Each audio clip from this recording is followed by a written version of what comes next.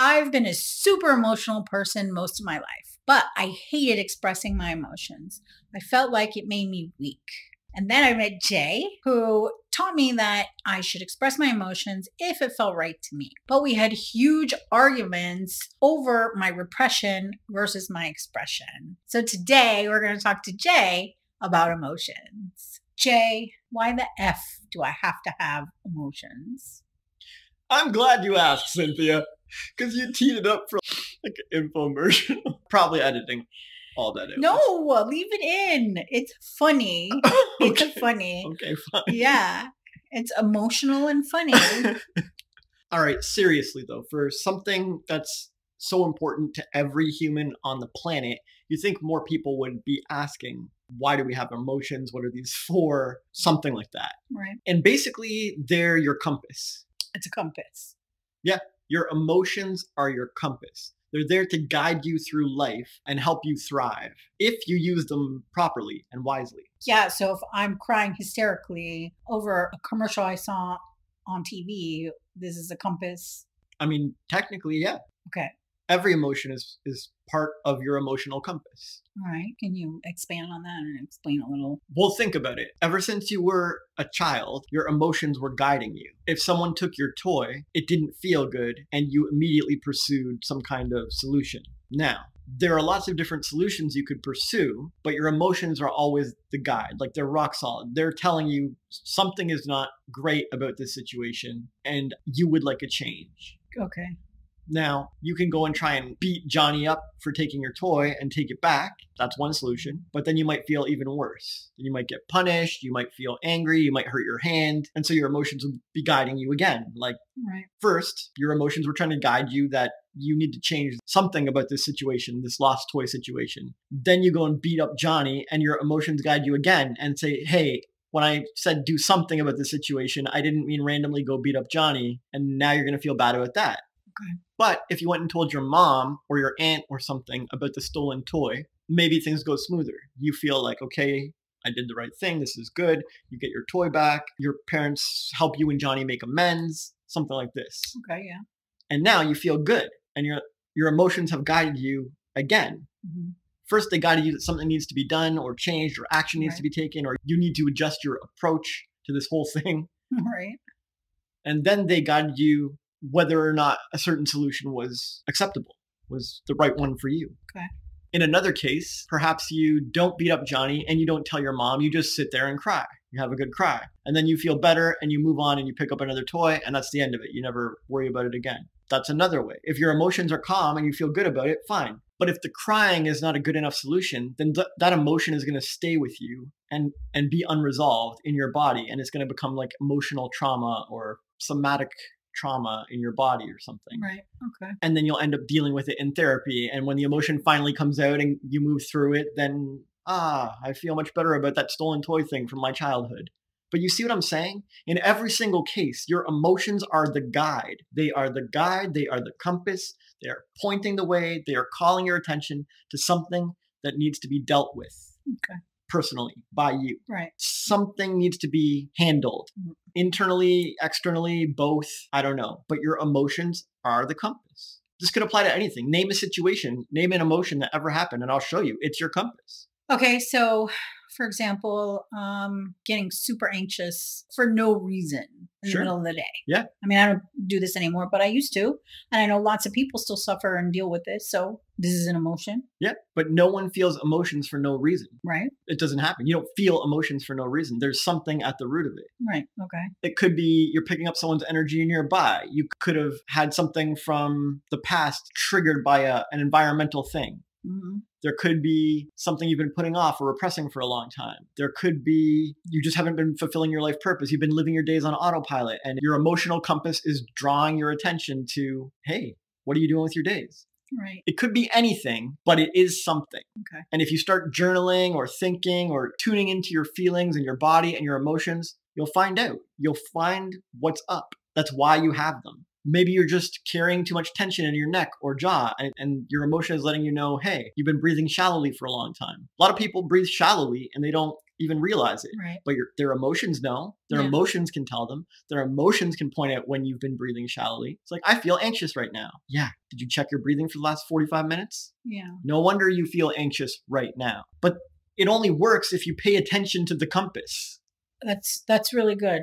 Thank you. Uh, so I, I've noticed uh, in the past when I had feelings of like where I felt okay, and then all of a sudden I felt worse. It's because I started having thoughts about things in the past that had already happened. Yeah, and your Yeah. emotions are saying, yo, what's up with these thoughts? Maybe you should change your thoughts. Maybe today was not the day to go thinking about all this past stuff. Yeah. Maybe you should be thinking about building a great future. Mm. Maybe you should be thinking about getting water and getting food and going for a walk. Why are your thoughts on this? Please control your mind and use some different thoughts. Your emotions are your compass.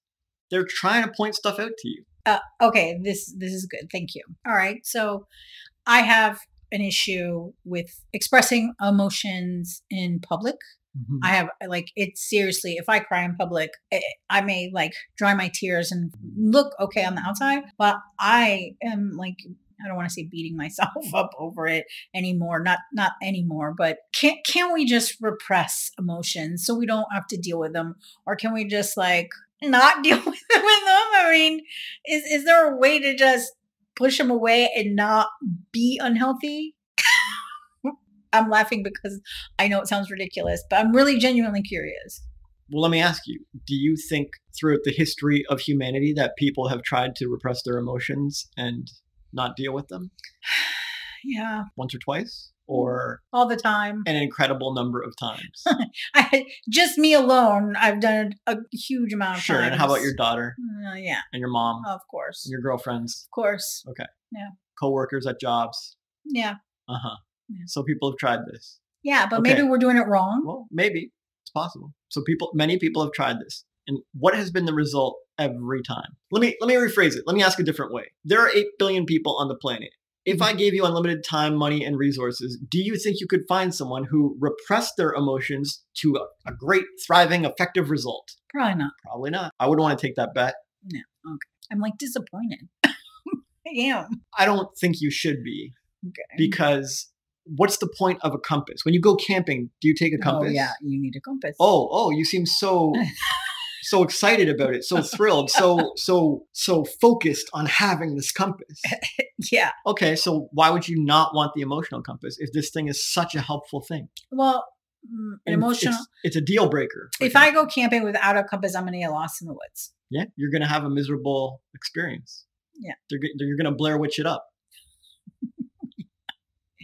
Okay, I got you. if you have a needle on a gauge or a meter hmm that needle is there to help you someone took time and effort to create it Right. not for no reason. They created this needle and gauge for the user. Yeah. And they did it to benefit the world. Like they did it to help people. And so I don't know what you believe about the creator or whatever, but whoever or whatever made you end up with emotions was trying to help you. If you have a gas gauge with a needle and the, the needle can go to F for full or E for empty, do you want to repress this? Put black mm-hmm. tape over it? I don't want to deal with this? Or is that very good to know? even if it's on empty, it's still helpful to you. Yeah. Even if it's showing you the most negative sign a car can have, like out of gas, still good to know. sure. Right. And your emotions, even if they're negative, are still showing you something really important. I got you. So not only can people not repress them, I mean, to any reasonable, helpful, effective result, Mhm. people ideally should be celebrating them, like celebrating that they have them, even if it's super deep depression. Yes, I get it. It's terrible bad. But when your tank is on empty, it's good to know. All right. So it's totally fair. I, I get what you're saying. Okay. So there's no uh positives that really are going to come out of repressing my emotions. And and you're right. I've never experienced this as a positive thing, but I thought maybe there might be a way that we could do this in a healthy way, but I get what you're saying. Can you healthily ignore the compass or the gas gauge? No. No, you can't. Yeah. I mean, you can, but then you're going to end up stranded. Uh, whether it's the gas gauge, you're going to run out of gas, and you're going to be away from a gas station. It won't be a positive Yeah, result. yeah, no, it won't. It won't. So, okay, makes sense. Thank you. Then I'm going to move on. So, as a woman, I've been super emotional most of my life. Like like I said in the intro, we've had issues over this too about me being such a crybaby and just uh, unnecessarily emotional. And I've had lots of men in my life in relationships and just family and friends and whatever.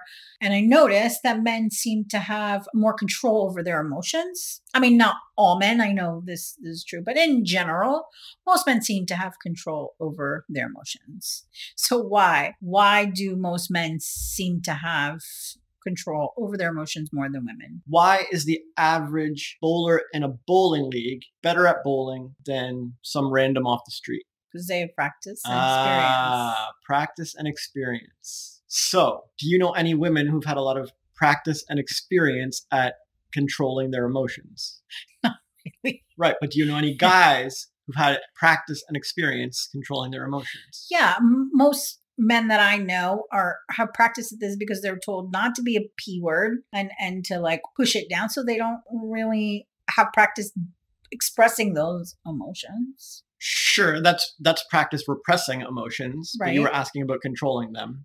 Right. So maybe it's Oh, repression and control are very different. okay. So this is where uh, I'm confused then. So I thought they would kind of be on on the same. No, because if you take a bunch of guys and have them all repress their emotions, they just become traumatized, broken men, like bottling things up till they explode and they need tons of therapy. So this wasn't very great control of emotions. Whereas you take Buddha or the Dalai Lama or Thich Nhat Hanh or somebody, and they they literally control their emotions. Stress and chaos is going on around them. They are Yeah, very yeah. zen. These are Zen masters. Okay, so I I get it. I guess I should have defined what I what I meant by control.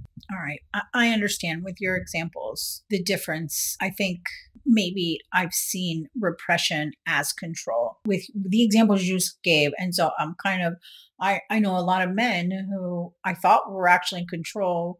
And by what you just said, have actually been repressing their emotions. Okay. It's pretty common. But Right. you will find Zen masters Yes.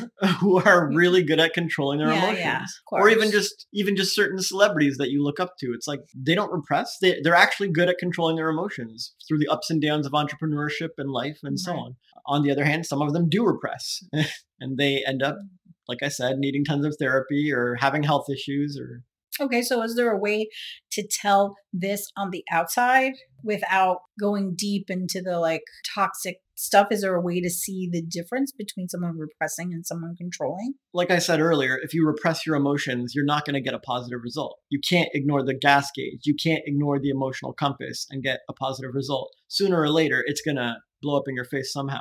So you can see if you pay attention over time, maybe, but it doesn't really matter. What what matters is all of us, each of us individually, know whether we're repressing an emotion or controlling an emotion or dealing with it or facing it or expressing it. We all know what we're doing with that emotion in the moment mm-hmm. you might do it on autopilot you might be so so trained and so practiced now that you don't even think about it but just like breathing even if it's autopilot you can always tune into it and be conscious of it at any time see now i'm consciously breathing Right. but while we were talking i was doing it on autopilot Right. so if I go and have an emotion, I might on autopilot repress it or bury it or dismiss it or avoid it. Mhm. But I could also consciously tune into it anytime I want. Okay. You can start journaling anytime you want and have those emotions come up. I feel tense in my jaw. Why do I feel tense in my jaw? I haven't felt fulfilled in my career lately. I feel lost. Whatever, right? Mhm. Like you can just start writing out your feelings. I got you. If you're ecstatic, I feel great. There's no tension in my body anywhere. I feel like I'm walking on air. This is the greatest day that's ever existed. If you're writing that, then maybe you don't have any emotions to work through. right. Or maybe you're too happy. I don't know. okay, I got you. Well, the other night we were at a, a dinner party and someone said something that kind of made me mad. And I, at the time, I thought I was in control of the emotion that I felt of, of the anger. Maybe you're repressing it. I, w- I was. And then a little while later, when they apologized to me, I realized that I had repressed it. And then in the in that moment when they apologized, I took control. I was still I was still angry. So that at that time when they apologized, we hadn't spoken in the, I don't know, 20 minutes that had gone by. And I kind of pushed it pushed it down and, and had a conversation with someone else. And then when I went back to him and, and had the conversation, I could feel my anger immediately come up even when he we brought it up. He didn't like start with the apology right away like he brought it up again and i felt that emotion rise up and in that moment i realized he was apologizing but that's not why i controlled it. I controlled it because i had i had time to focus my mind on something else the other conversation i had with with a woman and and then when i came back to it i felt in control to discuss it again. And I was like, it's fine, it's no big deal. And I really meant it. I wasn't like, in that moment, I wasn't repressing it. So, but if you had asked me before this conversation, I would have said, oh, I was in control The whole of time. the whole the whole time, but I was not. So this is good. yeah, this is Good. common. Yeah. You okay. unconsciously or or on autopilot repress your emotion at the beginning mm-hmm. because you don't want to deal with it then and there. It doesn't feel safe. It's not the right environment. You're not practiced at it for whatever reason. Yeah. You repress it on autopilot. And some people will repress it for years, Right. but you repressed it for 20 minutes. Right. And then when someone else brought up the topic again, you had a moment to, okay, now I can deal with this emotion and Mhm. look at the compass and look at the gauge. And what is it telling me? What is it telling me about this situation? It's telling you to let your anger go and accept this apology and Yeah. get on with life and be friends with everybody. That's Yeah. what your emotion was telling you. Yeah, and and had I been repressing it, if we were talking about it now, uh, that anger would have come up. Yeah, and then this is why you get people bursting out at random things on random moments Yeah. and no one knows why. But it's like, I can tell you why. Oh, this is why they get triggered. Yeah. If you're yeah, I love this. look okay. at the Dalai Lama or Buddha or whoever, and they're like never triggered because they don't repress any emotions. They express emotions. They deal with emotions. They meditate on emotions. They work through emotions. They journal emotions. They dance the emotions away, whatever it is. So people who are getting triggered is because they repress the emotion, and then it comes back up to the surface, and they pff, they crap on everybody or whoever they're talking to or whatever they're dealing with because they've repressed it. Yeah, because the needle always points north. Like it's always Okay. you can't change the needle. You're oh, I'll just shove the needle different way. It's like Right, okay, but when you're when you let go and you're you take your attention somewhere else, the needle goes right back Right, to what it was, and it points again yes. at the anger or at the sadness or at the Mhm. happiness or whatever it's pointing at. Oh wow, this I love when you give me those moments on camera. That's awesome. Okay. This is really, really helpful for myself and for when I'm dealing with other people to kind of understand them a little more. Because I've wondered, like, why are you getting so mad over some little comment or thing that someone said? Why is this triggering to you? But that's because they've repressed that feeling for so long. Yeah. And they thought they had control over it. Sure, and it looks like you do until you start getting jaw and neck issues, and you like Mm-hmm. manifest sickness and illness and hives and breakouts and all kinds of Yeah, yeah. things. Like you store emotions in your body, you repress them and shove them down. They are coming back out. They are going to erupt in your skin or some other thing. They're going to erupt onto a fight with somebody else. Yeah. But this doesn't answer your question about why men. Oh are yeah, better at I'm sorry. controlling it. Yes, yeah. So your answer to my question was that people are better at X, Y, and Z Mm-hmm. because of practice and experience. Right. And so what does that mean about men's practice and experience with emotions versus women's practice and experience with emotions? Well, I, I think after the whole conversation we just had about triggers and repression and all that, I think, and I could be wrong. Maybe they're not good at it. Yeah, I, I think actually maybe it what looks like control may be repression. And though I think men with men have more control over their emotions in the workplace and stuff around other men. I, like again, this is a general generalization because there's always going to be an outlier or exceptions and whatever. But for the most part, I think maybe men might have more opportunities to practice this because it's also more socially acceptable for a woman to cry. It's, more socially acceptable for a woman to get emotional and to express herself, or even if she's triggered and expressing the repressed feelings, it's more acceptable and we have more opportunity. Whereas men kind of have no choice but to practice this because men are told more often not to cry and don't be a, a baby and, and man up and this kind of thing. And I think I could be wrong again, but I, I think this may be why you guys have more practice at this than we do. Okay, but that sounds like practicing repression. Well, that's why I said I can't be sure if it's control or practice. And maybe an, a theory that because you guys repress so much, then you start to learn to practice actual control at some point.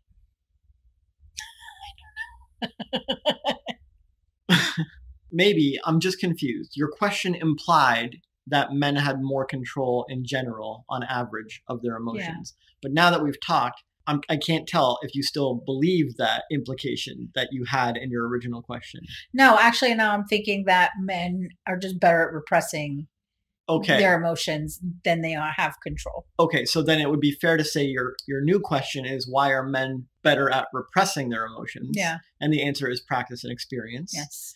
And so would the flip side be why are women better at expressing their emotions? Oh, because we have practice and, and experience. experience. Okay. When we met, you were great at expressing your emotions, but you just wouldn't stop. Like you did it so much nonstop and it caused problems and drama. I like I almost was begging for you to repress some emotions. Like I, I know that's not going to have a positive result. Yeah. Okay. So actually, I think overexpression and repressing, they both can't lead to good things. Because for me personally, overexpressing small little everything that bothered me, it, it just started to wear on our relationship where I was crying all the time. And I was, in a way, using you as a therapist when I shouldn't have been, when I should have been dealing with things internally on my own. Yeah. I want to clarify that when I say repression, I mean having an unhealthy antagonistic relationship with the emotional compass, with the needle, whatever it's pointing at. Right. Okay. Okay. Because expression and repression are not opposites. I was like, oh, women are better expression, men are better repression. But this is not exactly the case. It's more like over expression and under expression are opposites. Okay. But repression is screwed up either way. Like this repression is terrible either way. Okay, this is good. This is good. But overexpression can be a thing. Yeah. And underexpression can be a thing. And mm-hmm. both of those have their their time. Yeah. So for example, if I feel a ton of rage, I can exercise discipline and like pull it back. Yes. I can count to 10 internally and choose not to express it. This has the effect of leaving me calm and in, in control and not carried away by my emotions. Mm-hmm. They still exist and I haven't repressed them. I know the gauge is there, I know the compass is there, but I'm under expressing. I want to nuke the entire world. Instead, I punch a pillow. Right. And this is a positive thing. So yes when people were listening to us, they might think, oh, repression is good sometimes, just like the example I just gave. Yes. Yes. But I don't call that repression. To me, that is under expression or disciplining your expression. It's pulling back your emotion. It's a form of emotional control. I agree because if I asked you how are you feeling? and you've held back that that anger and that rage but you're in control of it if you were repressing you would say I'm fine. Or I would explode in rage at that mm-hmm. tiny little question. Right but and when it just you're comes in, flooding out but, because I was repressing it. Right but when you're in control of it this is when I ask you, "Hey, what's up? How are you okay?" And you're like, "Well, I've been annoyed. I'm annoyed because I play this game with these fools and they made me mad."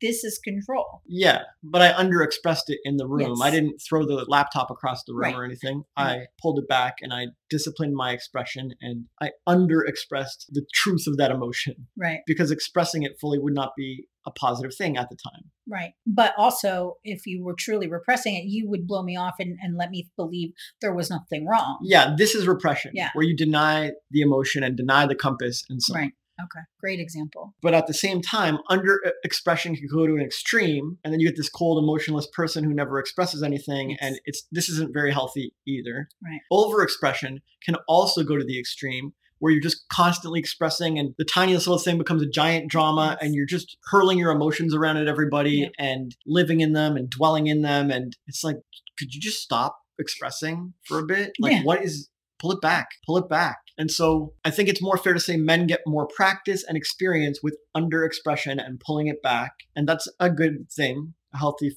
form of controlling your emotions mm-hmm. or can be right but it can go to an extreme, which is not good. Mm-hmm. And women or feminine leaning people get more practice expressing. And that's a good thing too, but it can go to an extreme. Right. Like anything, it can be taken to an extreme. Right. But no matter which side you're better at personally, Mhm. uh, repression is still the worst. I agree. And it's it's a third thing. It's a separate thing. Okay, that's good. I'm glad you pointed that out, and we we got here. This is good because uh, again, with the language thing, I, I was under the impression they were the same thing. So thank you. It was really good. Wow, I love when you do that. and I learn stuff. Well, so did I. I'd never clarified those terms before, and I was like, "Oh, this is important. People are going to get confused." Yeah, that's good. So I love you. it. Thank you. Uh, okay, so um, we're gonna move on then. Uh, about a year ago, uh, Will Smith and Chris Rock made headlines because at the Oscars, Chris Rock made a joke about Jada, Will's wife. Will got up and yelled at him and slapped him across the face in front of all of America, in the front of the whole world. So he was expressing his emotions. He was not repressing them. He was overexpressing them. Why do you think that? And I know this is just your opinion because you don't really know, but why do you think he chose that moment to express his anger over people saying stuff about his wife? So when you or anyone expresses an emotion, it can be done in one of two ways. It can be done consciously and intentionally, Mhm. or it can be done triggered and autopilot E. Okay. Yeah, I got you. Yeah. So if you've ever seen a parent discipline a child in a healthy way, they may have to express some anger Mhm. to get the message clear to the child. Right. But if the parent goes to their room, meditates, gets in the zone, thinks it through, writes down some solutions, comes up with, I should ground them, but I think I'm going to have to raise my voice a little to make this clear. Mhm. And then they go and do that. This is a parent who loves their child and wants to do the right thing, and it, it hurts me more than it hurts you, and I don't want to do this. And it's really heartbreaking. And but you, you got to have some consequences. Yeah, they're not triggered and whooping their No, butt. they're right? not. Yeah. They're not triggered at all. Uh, they gave it days of deliberation or whatever, Mhm. hours of deliberation, and so they're expressing their displeasure or their guiding hand or whatever it is the best way that they know how, and it's a very consciously expressed emotion. Right. But you could see the same thing with another parent, and they just hurl the chancla at the child. Right? I'm mad. Yeah. This is a trigger parent. That's a, that's a, a sandal or something, right? It's a sandal. Yes, I love it. On a spaniels. So cute. Yes. So so yeah, same same kind of thing. Mhm. Both are expressing their emotion or their their displeasure, Mhm. but one in a very conscious, intentional way. This is what needs to be done, Yeah. and one in an unconscious autopilot e way. The same thing can happen if a couple is out at a party and you know someone approaches the girl or disrespects her or Mhm. something. The man in the couple may defend her honor or stand up for her or something, but he can do it in two different ways. He can do it consciously and intentionally, raise his voice, say a sharp word, hey, excuse me, sir, back off. Mhm. Or he can just like see red, turn rage, have some trauma come up and punch somebody out, like just at the drop of a pin. Right. Both are expressing displeasure or boundaries or boundary setting or something like this. But one of them is expressing in a clearly conscious, intentional way in the moment, you know what? I have to do something here, but I'm going to make sure it's an appropriate expression. Right. The other one is just some crazy triggers from traumatic past relationships or something, anger issues or something. Yeah. So in the Will and Jada case, which form of expression did Will choose? And can we even know? Well, yeah, I think it was super triggery. Who gets mad and freaks out at the Oscars and just slant like hits somebody? This doesn't seem to be a thought out thing. Uh, However, however, it might have been. It might have been thought out. It might have been like for attention. It could have been coordinated between the two of them. Chris Rock recently did a Netflix special and I watched it. From what he said, that wasn't a coordinated thing. He was not expecting it. It did hurt. Was much bigger than him, uh, and it really made him mad. I thought he handled it pretty good, Fair enough. but we still don't really know. yeah, this is the thing. The conscious expression and the autopilot expression of an emotion can look identical Okay. from the outside. Right. Oh, that man is yelling at that other man Mhm. over his girlfriend. I think he's just triggered, but maybe he wasn't. Maybe he was like, this is exactly what the situation needs. I'm going to do this and, you know, take the consequences. Right. So then really we can't know only the person doing the the action really knows whether this was a triggered or was thought out. Yeah, but you can ballpark it. You mm-hmm. can spot some indicators and spot some signs. Oh, okay. For example, Will Smith, I believe, has never done anything like this No. ever. Public violence has not been part of his his agenda. brand. So this is so off-brand and so ridiculous that it's a it's a good sign this was not a consciously chosen thing because consciously through his whole life he's been choosing not to do that. yeah, like, right? yeah, he wouldn't even curse when he was rapping. Right. Yeah. But the trouble with spotting signs and taking a ballpark guess is that it's just a guess and we could be wrong. Right. So it's fun to gossip and oh, I, I wonder why he did it and I think it's this and I think it's that. But really all of society could use a little more benefit of the doubt and a little more I, I don't really know and a little more I'm just guessing. Right. Well, Chisme is really fun and really nice to talk about. That's why I started when I said, I know we don't know is your opinion. So So in my opinion, if you want the juicy gossip, always. it's most likely from career or relationship pressure. Right. So when people accomplish a lot and succeed and are generally fairly good at dealing with the public and being in the public eye and managing their brand, I haven't done studies and I don't have the data, but I bet the most common reason for outbursts and blowups and triggers like this have their roots back to career or relationship pressure because career and relationship pressure are the two most traumatic, powder keggy things in people's lives that cause them to behave out of character or away from the norm. Well, we do know that he's gotten a lot of crap about Jada cheating on him in the papers and on social media and stuff. He got a lot of crap about being a you know a little p word over it. I mean, I, I don't know if that led to this or whatever. As part of the chisme is that uh he's in the papers. People said a lot of crap about him not being a man and letting his wife cheat on him and so maybe that contributed or whatever. Maybe, or maybe he doesn't read the papers and doesn't even know. Right. That's just what the narrative is for the masses. Right. It could be anything. Right. It could be that he feels like he has to compete with Tupac or the memory of some other man, or they've had some issues in their relationship, or she thinks he's not man enough or masculine enough, or he thinks he's not man enough or masculine enough. Mm. And a show of force and defending my girl's honor is going to be the way to do this. And so it just triggers and snaps. The opportunity happens, and it could be anything. Right. But really, what matters most is that more of us, all of us, become good examples of navigating our emotions in a healthy way. hmm Because whether it's Will Smith or your best friend, they need a role model. They need to see this. Yeah. And maybe we'll have less slap moments. It's true. Thank you. That's great. I appreciate it. So Will Smith kind of acted triggery, whether he did or not. The action seemed to be a little bit uh, because of the place and the time and the situation. But Chris Rock didn't say a word for a year until his stand-up thing. Do you think? And again, it's just opinion because we don't we don't know what's going on inside. Do you think this shows more control over how he felt? I mean, it looks like it, but just like with Will's side, how are you going to know? Yeah. Maybe every fiber of his being was telling him, speak up, say your piece. And he ignored or repressed those emotions and waited a year to look good for the public or something, or, you know, enough, right? out of guilt or I don't know what. And if he did that, then his classy waiting a year to speak or put it in his special is just a form of repressing the emotions. Fair play. That said, I don't think that's the case. Mhm. He seemed to handle it with a fair amount of dignity and class, and I would guess that he exercised some emotional control and and held his tongue for a while. Generally, don't feed the drama is a good core principle for emotional control. If you would like to control your emotions, that is a great place to start. Someone pissed you off? Chill. Don't feed the drama.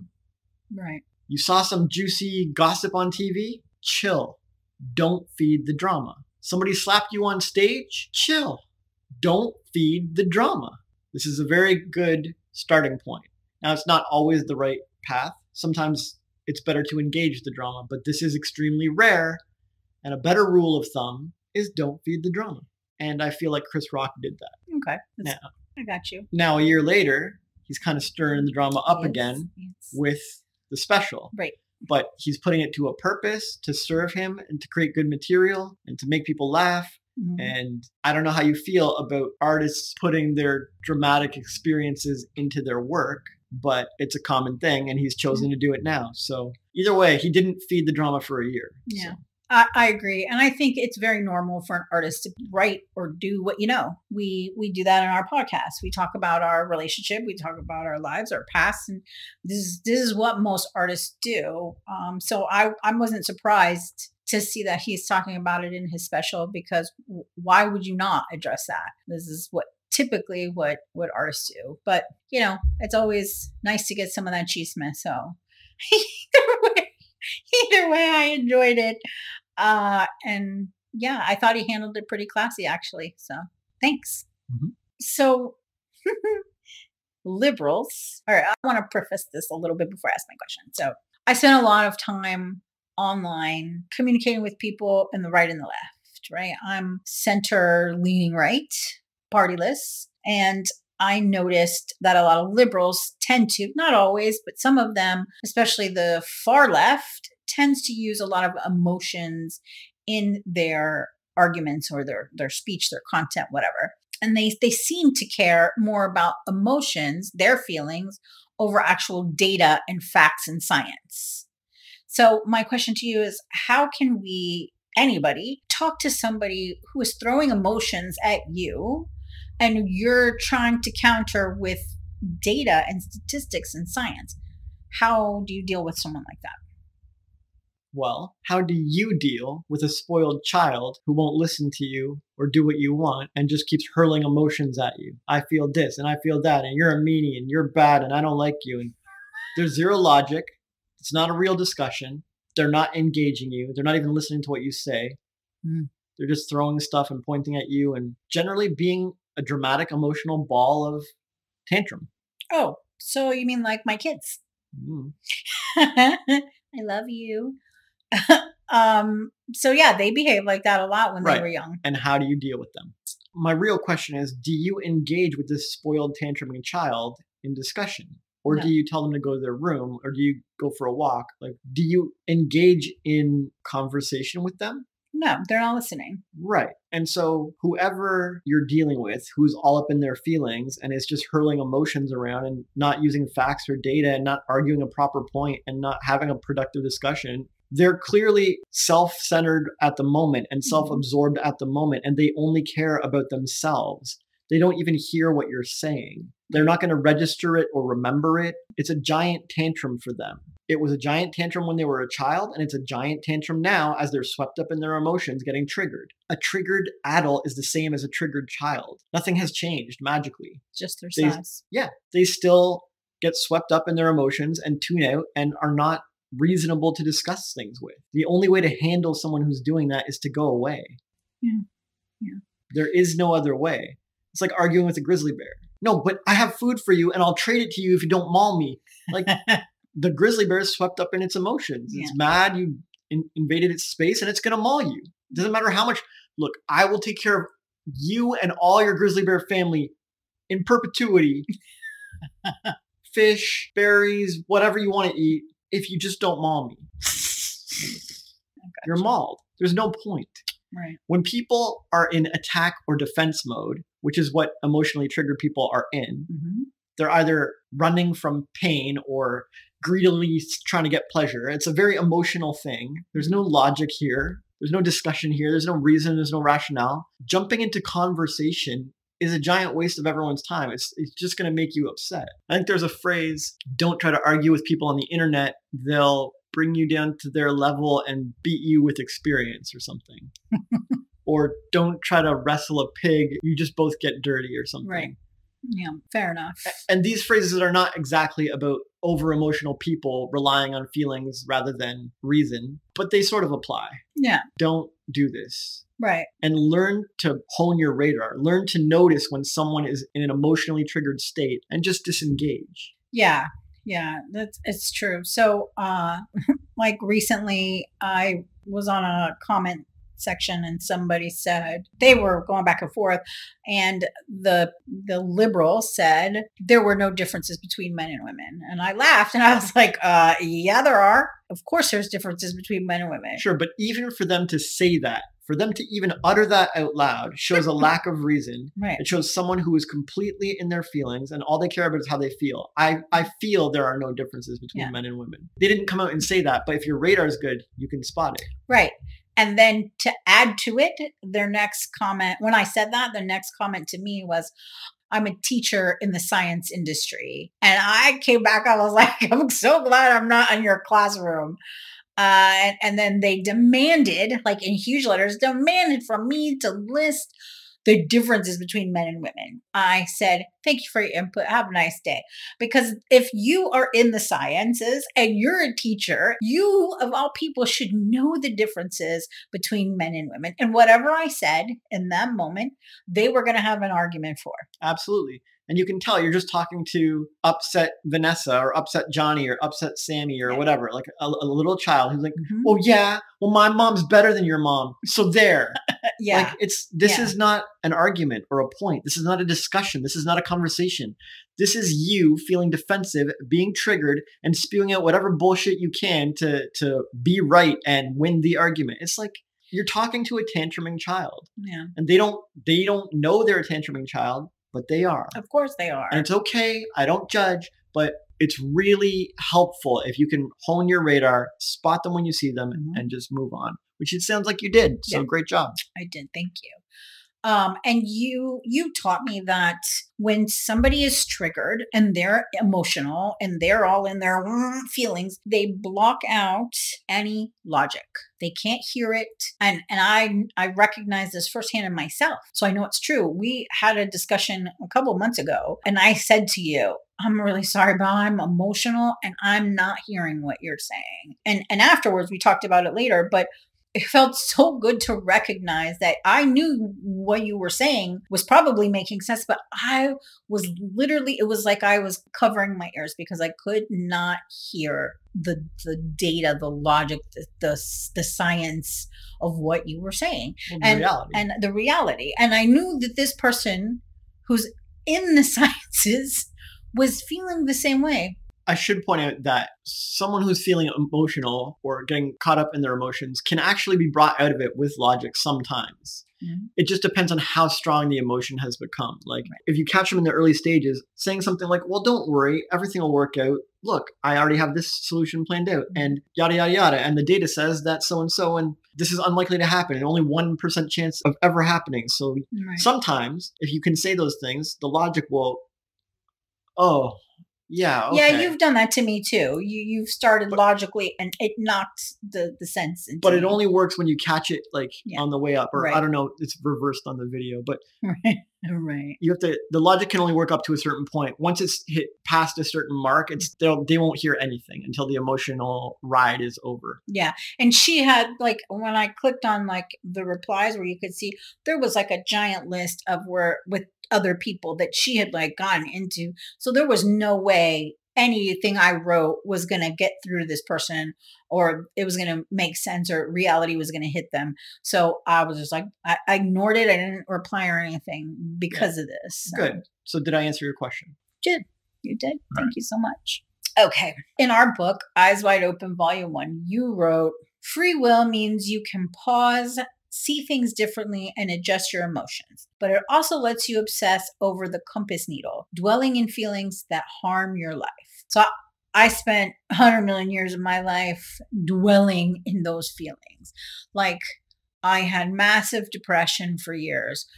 But on top of it, I never tried to like come out of those feelings. I dwelled and lived in that. Oh my God, I'm horrible. Oh my God, I hate my life. I listened to sad music. I watched sad or scary movies when I was like that. I never tried to lift myself up out of that shit at all for years. But you, you taught me how to love myself. You taught me that I had value and that I was amazing and and this is what we we do for other people now.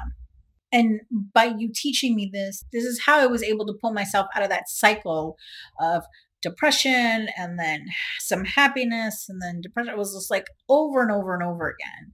So you taught me how to love myself so that I can pull myself out of that. I was hoping that you could tell people what you did to help me. So maybe they can help themselves also to not dwell on those feelings of despair and sadness. Sure. How do you change any compass or gauge? The gas gauge is empty. What do you do? Oh, you fill it with gas. Yeah. If you're going south and you want to go north, what do you do? Turn around. Yeah. It's the same with your emotional compass. If you're feeling sad and you want to change, what do you do? Mm-hmm. You do things to feel happy. Yeah.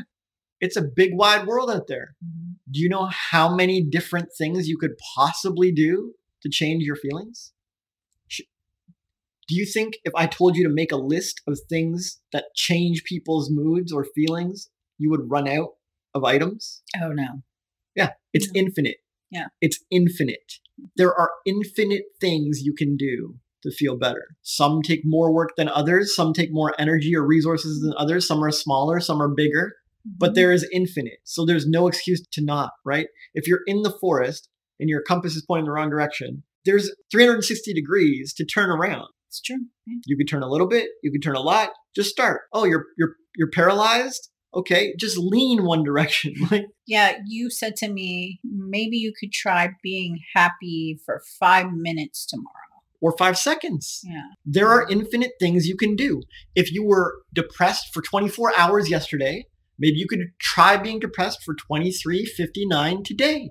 Show me you're a big boy or a big girl and you can actually do something. Show me you have hands and a brain and you can actually be happy for 60 seconds at a time. yeah.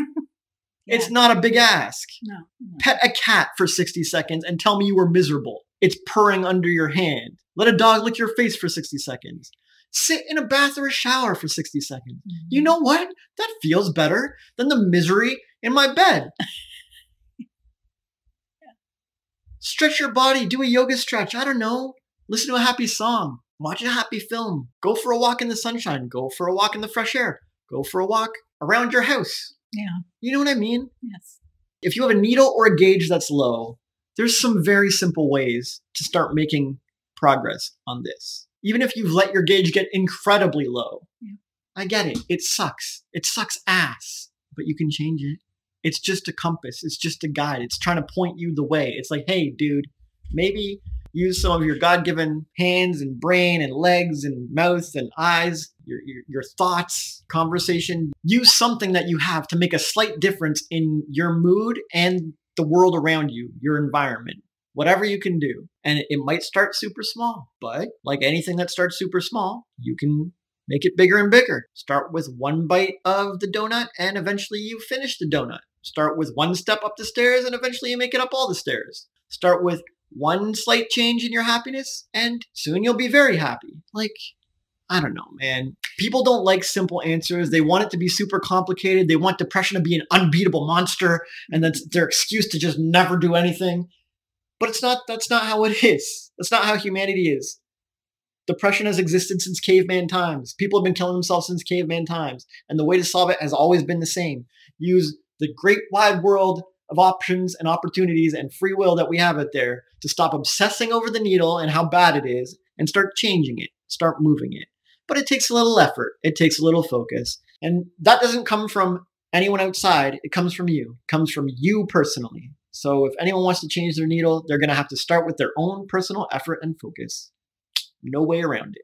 It's true, and what what you said uh, is really good. How people want things to to be complicated. So when I was in my depression, I for those who don't know, I spent 24 years in therapy, taking medication. I was miserable, depressed, diagnosed with bipolar, panic anxiety disorder, and I quit medication in 2006, I think and been medication free since then. I still had issues. And when we met, all of it went away because of this, this right here. And at first I was like, wait, I, I have con- control? No. And it sounds really dumb and so easy and like, duh. But my therapist never told me that. my, I spent years with my therapist who told me that I could not, I would never get better, that I was going to have to spend my life in therapy and it would be a journey forever. No, that is not the case. And uh, and it didn't happen overnight. And I started by changing my media. Okay, I'm done watching dramas. I'm done watching the news, and I'm done listening to sad music. Those three things made such a huge, huge impact in my life that I knew that if I kept going, that I would start to feel better. I quit the painkillers. I quit crying every day. I mean, I should clarify the crying every day before was because I hated my life and life sucked. Then it turned into crying every day because I was emotional because uh, I had been repressing stuff for so long that the, everything was coming out about everything. But this was different. It was way different than crying because I was miserable and depressed and I hate my husband and I want a divorce and I'm living here now. No, these steps, it sounds simple because it is. And if if a woman with bipolar disorder and six panic attacks a day could heal herself with this thing, this simple thing you taught, anyone can. I'm not special or magic, and I've done it. And now I don't suffer from any of that stuff. I mean, I get sad occasionally, but mostly because I'm not doing this. So, thank you. Yeah, I also told you to spend more time in your bathroom or Starbucks. Mm-hmm. You, Out of my environment. environment. Yeah. yeah yeah, and it worked. It yeah. Worked. Or a library, like Starbucks will let you spend spend forever there for like two seventy five or something. I went get the small smallest coffee there, and you can just stay there and chill all day long. I got to know all the baristas. I made friends with the manager. Uh, I even got to the point where I would buy my coffee there and go get food from elsewhere and bring it there. They all knew me. They all loved me. Um, and I, you know, I tipped as well as I could. It moves the needle though. It did. It really, really all these did. things move the needle. Um, and anyone it, can do them. Yeah, it was close to home, and my kids could come. Uh, my kid would come after school and see me, and we would hang out at Starbucks, and it just made and it made my relationship with my son better too, because I wasn't crying all the time. So thank you. My pleasure. Thank you for teaching me this, and thank you for teaching them this. Um, and I just want to add one more thing before we move on to the next question if you're struggling with depression and anxiety and you want to talk more about this, the steps and, and like maybe more what I did, I'm more than happy to help. I always put my email address in the description. So please feel free to reach out. Plus, there's the mental health article 59 things to do to fix your mental health. Yeah. Oh, I'll put that in the description. Yeah. Okay. Thank you. I mean, it was mostly for like money anxiety and OnlyFans people, but it's it's universal actually every single thing in that article too i also used to improve my life. And even though it's marketed towards money and and the, when we were working with onlyfans girls all of it makes perfect sense and it's really good. And and each one of those tips could be a book on its own. So so a lot of people tend to make decisions based on emotions. I did. I made knee jerk decisions based on emotions and then regretted it later. So, why is making decisions solely based off of emotions a bad thing? Because your compass or your gauge is a tool to help you. It should never be making decisions for you. Would you ever let your compass make decisions for you? Let's say you're in the forest camping mm-hmm. and you're going south and you're like, oh crap, the compass says we're going south. I wanted to go north. This is not good it's time to make a change. I have to make a decision. Right. Now, if you turn around, there's a giant cliff in front of you. So do you just listen to the compass, turn around, go north? Walk right off the cliff? No, yeah. no. It's a shitty decision. Right. What if you turn around and there's a frozen lake that may or may not be safe? You just, well, decision made, time to go north. not the best idea. Right maybe your decision would be better to test the ice. Maybe you test a little and walk a little and test a little and walk a little. Or maybe your decision is, oh, well, there's a cliff. We don't have rock climbing gear. I guess we're going to have to go west for a while. Life has all these situations presented to us, and the emotion will point that something needs addressed, something needs changed. Mm-hmm you're going to have to make some decisions or take some actions here. Uh, adjust your approach, your perspective, get a bigger view, look up some data, do some research, uh, start tracking evidence, uh, have a heart to heart with somebody. You're going to have to do something. Your emotions are telling you. Right. You, you're going south. You need to turn north eventually, somehow. But it should not be making the decision of what you do next. All right. And when people make a decision based on their emotion, they're letting the emotion make the decision. All right. Fair enough. Your your soul should be making the decision. Your consciousness, your intention, how you want to live your life. Your free will should be making the decision, not some knee-jerk emotion, not some anger or some guide. Like my other examples about the the guy at the party who, someone's hitting on his girl, Mhm. or the parent disciplining the child.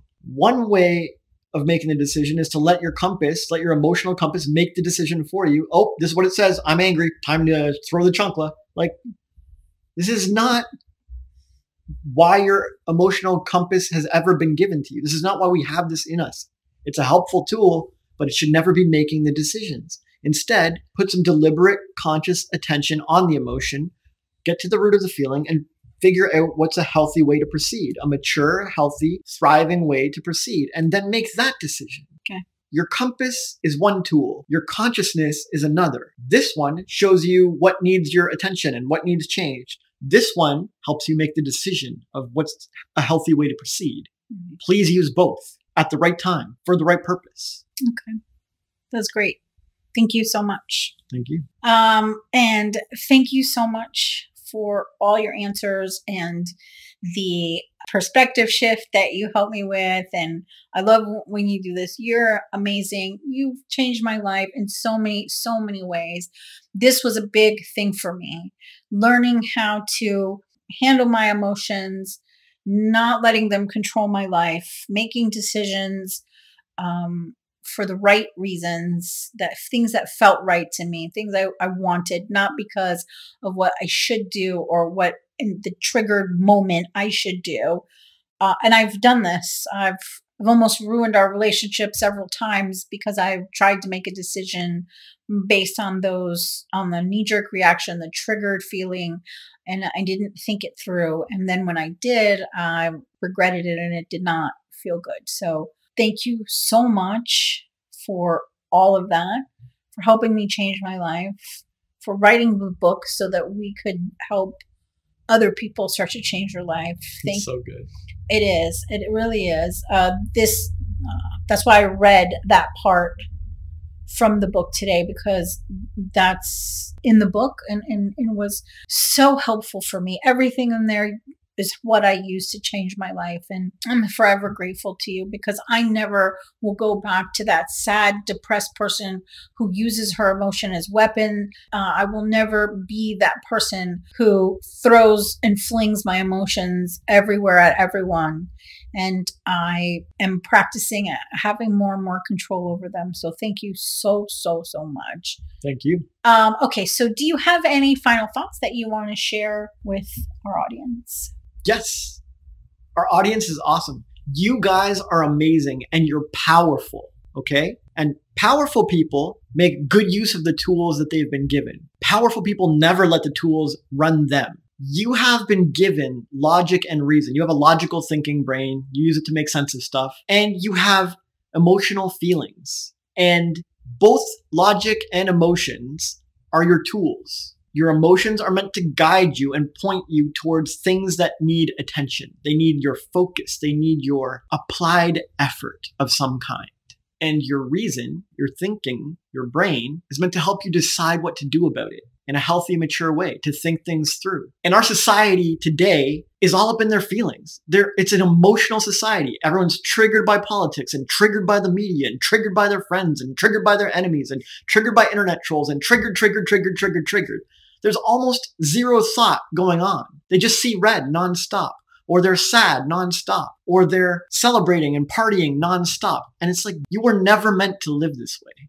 Just ignoring one of your most precious tools and over relying and identifying with the other one. And so I want to see your power shine. I want to see it blossom. I want to see it grow. I want to see you create the life that you want to create. And I know you can, and I know you will. And I know you're on that path, and you're going to do it more and faster and better if you stop letting these tools control you and instead start controlling and practicing and mastering the tools, especially your emotional compass. I love you all and I hope this helps. And that's why our book and this podcast is called Eyes Wide Open. Keep rising.